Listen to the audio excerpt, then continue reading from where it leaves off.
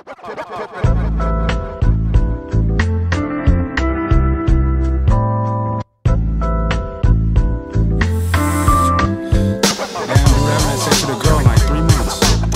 what the fuck? You're a rapper. You're every day. You real shit, nigga. I just hit a three. What you need to do is go download Tinder. Nah, nigga, it's an app.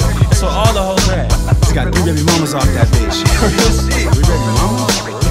Yeah, nigga. Go download that shit. Yo, so I'm feeling they smashed the girl in a minute.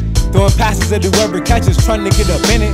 Then the homie put me on this app that he be hitting. So he smashing girls like every week, so I should pay a visit. A little suspicious, but fuck it, I still hit the download. Get my bio set up, then I put this shit in browse mode. Feeling mixed emotions, swiping left and swiping right. And some chick hops in my DM like you trying to hit tonight. Wait, that was quick and a little too easy. But the minds are to die for and thighs looking meaty. So I did what anybody do this issue depressed. Took the info from her bio when I searched through the web. But I looked through every media and never found her.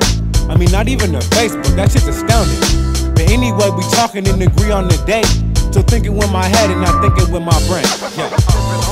Got a tomorrow, nigga? What's up? CFC, nigga, what I tell you. Hella no. What's your Instagram? It's a nigga.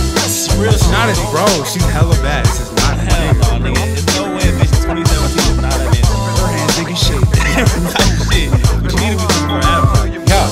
So I get to this spot and I'm kinda tripping, I'll admit it. The girl's already late, been waiting for 30 minutes. What if she don't show up? Fuck I'm gonna do. What if this is all some sick joke? What if she's a dude? Damn near pissing my pants and she walks up. Trying to keep it all chillin', I said the wrong stuff. She bad as hell, trying to open it up like a Snapple, making out, but still steady check for an Adam's apple.